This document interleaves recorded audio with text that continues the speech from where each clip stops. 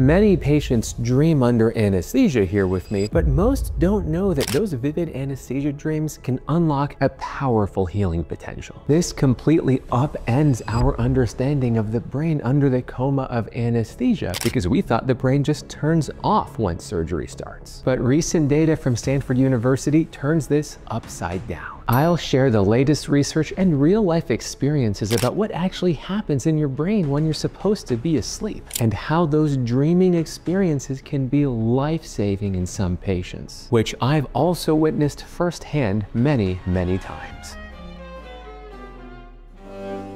Most patients think of surgery as traumatic because you're being cut open after all, and it can lead to medical PTSD if it's not managed well. But what if the surgery could be gentle so the experience could instead focus on the anesthesia and what happens in your brain instead? We know that positive affirmations in the form of headphones under general anesthesia there can make a big difference in how some patients wake up after surgery, meaning the auditory processing parts of your brain are still active when you're asleep. And if you think this is spooky, you are not alone. Even the journal titled the edition with this article as Doctor Strange. More recently, researchers at Stanford University shared two stories of exactly this experience, which disrupts our understanding of the brain during surgery. The first story was from a patient whose anesthesia dream saved her life after surgery. This was a 57-year-old white woman with no active drug or alcohol use at the time of surgery. She was physically healthy and was having surgery for a breast lumpectomy and a lymph node biopsy, which in and of itself can be traumatic. She wasn't taking any psychiatric medications at the time, but she was having one nightmare a week about her son who died from suicide previously. To quote the paper, she had two euphoric intraoperative dreams.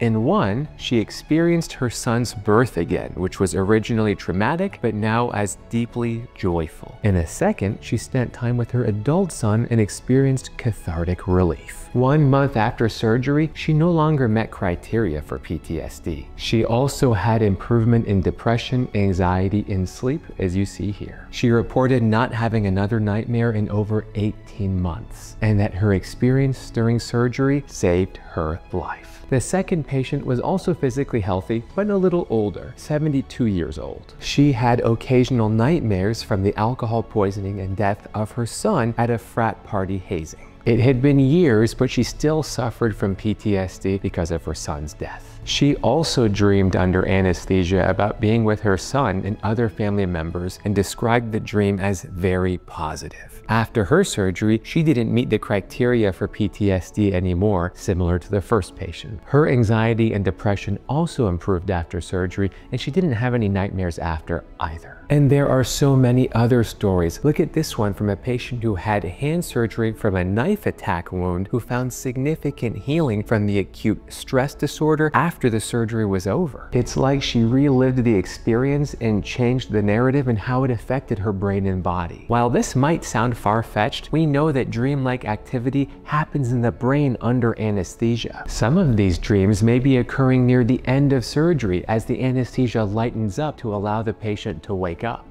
which has critical implications for what the doctors are doing to the patients in this critical time. This is also not surprising given our understanding of the anesthetic ketamine, which is well known for its potential to relieve symptoms of depression and PTSD. It's one of the most common medications I use with my patients struggling with treatment-resistant depression or PTSD because of its ability to change the relationship with triggers and to foster fear extinction and consolidation. Unfortunately, Unfortunately, most patients and many doctors don't understand this potential or the words fear extinction or consolidation to understand what's happening in the brain, so here's the quick review. Consolidation is the process of disrupting the storage of traumatic memories. The belief is that when you have a traumatic experience, it gets stored in a part of the brain that makes you prone to reliving that trauma every time you recall that memory. Triggers that make us recall those traumatic memories can be overwhelming to the central nervous system and can cause significant hypervigilance and hyperarousal, or what we might call fight-flight responses or strong startle responses. These can be incredibly painful and we call these unconsolidated memories. The process of consolidation, therefore, refers to storing these memories like an ordinary memory that might not be pleasant, but also doesn't overwhelm your nervous system with that gripping fear or hyperarousal. Fear extinction, as the name suggests, is when the fear that fuels that trigger is abolished. It's like being afraid of spiders and having an experience that takes away your fear of spiders. I actually did this myself with a tarantula experience in Mexico City, but that's another story. So back to anesthesia, the neuroplasticity of these medications, and ketamine in particular, is believed to facilitate fear extinction and consolidation in patients with PTSD. Ketamine doesn't erase that memory, but it can change the relationship with that memory in a more healing and productive way. If you're learning something new, please share what you've learned with others and hit that like button. I have many other videos linked below on the altered state of consciousness of IV ketamine that you might find eye-opening. So be sure to check those out as well. So if general anesthesia has been around for over a hundred years, why have doctors not noticed this until now? Good question. Firstly, there appear to be differences in different anesthesia medications that can produce these healing dreams or experiences like propofol or ketamine can. And these are much newer newer than the OG anesthetic agents like ether from the 1800s. So it appears like the older anesthesia agents just didn't have the same potential maybe. Secondly, and this is key, not all surgeries promote a healing environment for your mind. We have a saying after all that surgery can fix the body but break the mind and it might have to do with that experience. And I believe it comes from unoptimized surgical experiences because your environment plays a big role in what happens to your brain in altered states of consciousness. I always tell my patients before surgery or while preparing for an IV ketamine infusion that it's like your sleep at night. Your mindset and environment determine how restored and rejuvenated you might feel in the morning when you wake up. Remember that your REM sleep at night when you're dreaming is the most ubiquitous altered state of consciousness. And that's why things like sleep hygiene are so important for your mental health around sleep, just like the environment and mindset before surgery and ketamine infusion therapy. The data is still coming, but it appears to support this. I believe it's why this study in rats showed that anesthesia after a traumatic event can actually reinforce that traumatic event and may actually hurt social functioning. Rats and humans are obviously very different, but I bet the rats didn't have a healing environment environment around them during the traumatic event or the anesthesia. That all being said, it's very important not to treat anesthesia as a cure-all panacea for trauma and mental health. Many patients are terrified of surgery and anesthesia and the pain after waking up, and they bring that fear into the operating room with them. And things only get worse if they're hungry from fasting, cold because it's freezing in the operating room, and nearly naked